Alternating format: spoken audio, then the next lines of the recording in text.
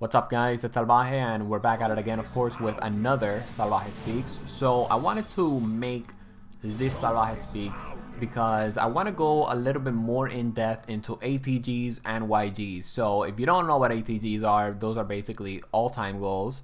If you don't know what YGs are, those are basically yearly goals. Pretty simple. If you want more info on that though, feel free to check out my video called Salvajee Seminar Goal Setting 101 where I go super in depth into goal setting and setting goals and all that stuff, okay?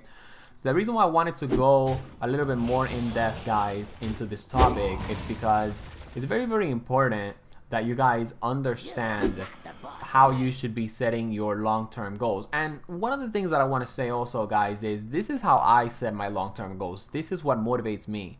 Okay, this is what inspires me. Just because this is my way doesn't mean that it should be your way as well. Again, I'm just sharing with you guys uh, some information that I believe can benefit you in some sort of way because of course it has brought me results. So let's talk about setting your long-term goals, uh, specifically your all-time goal, okay? Like I said on my Salvajee seminar on Goal Setting 101, guys, your all-time goals should be big things that inspire and motivate you, okay? And the reason why you want your goals, your all-time goals to be big. And the reason why you want your all-time goals to inspire and motivate you it's because you guys have to keep in mind these are going to be goals that you're basically going to be quote-unquote pursuing throughout the entirety of your life okay?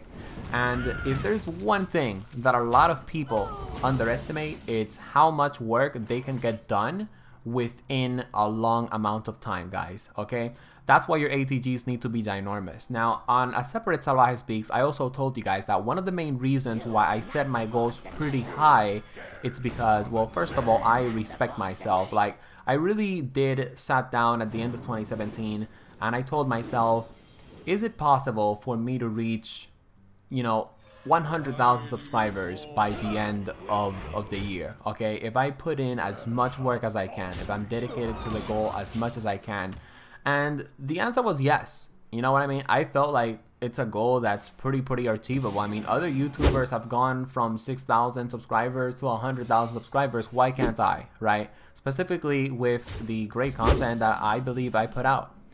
Anyways, guys, the point is that you guys want to keep in mind that if you set your long-term goals, if you set your yearly goals, if you set your all-time goals very, very low, they're not really going to be motivating you okay? Like the reason why i don't like to set average goals like for example i know this year i'm going to have easily 10,000 subscribers okay? So the reason why that's not one of my goals it's because that's not going to motivate me.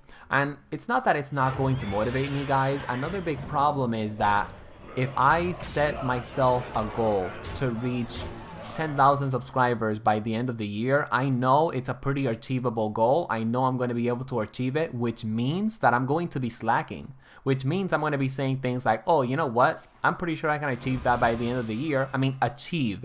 Yeah, guys, I have to say achieve because my boy Victor gets so triggered when I say achieved.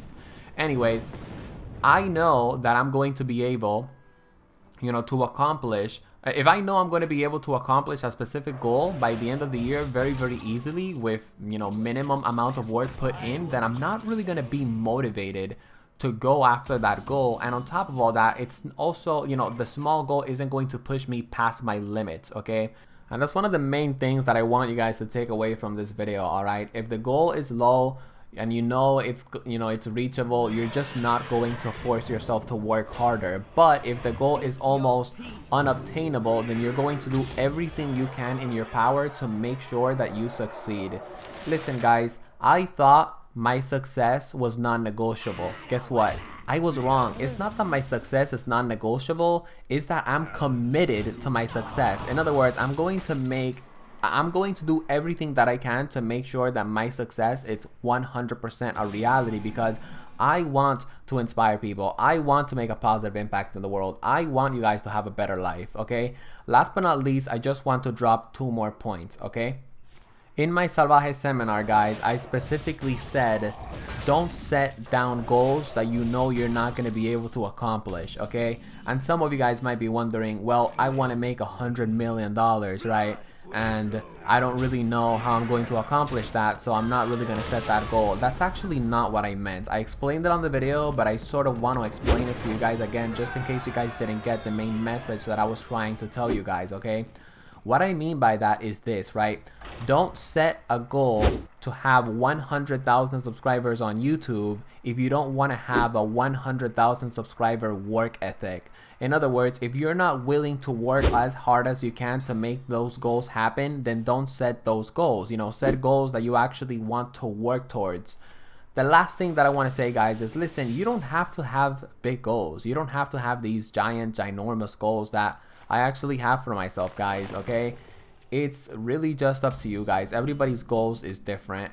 Again, I just want to let you guys know I really do think setting goals is important and I want you guys to set goals because if you don't set goals then you're just basically floating through the wind okay if you don't set goals you don't know where you are going and to all of you young guys out there that you guys don't have a purpose in the world that you guys don't know what it is that you really want to do for the rest of your lives your goals and setting goals can actually make you realize what it is that you actually want to do as a career okay? So that's just a little bit of an extra tip. If you guys enjoyed this video make sure to drop it a like subscribe to join the salvaje cartel. Thank you very much for checking out this video and check out the salvajee speaks playlist for more salvajee speaks content. Peace out and see you on the next one friends and thank you very much for your time